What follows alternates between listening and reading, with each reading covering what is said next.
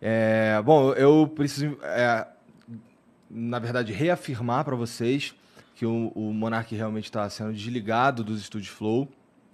É, é, vocês sabem que ele era, ele, é, ele era sócio aqui de, 50, de meu sócio, na verdade, de 50% do Flow. Então a gente tinha meio a meio.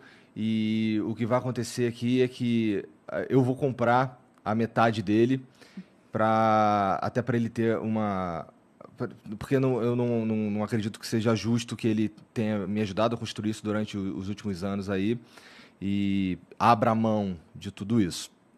É, a gente chegou à conclusão que era a melhor coisa, que o flow ele precisa transcender o monarch, né? Ele precisa ser desassociado e a gente acha que esse é o melhor caminho.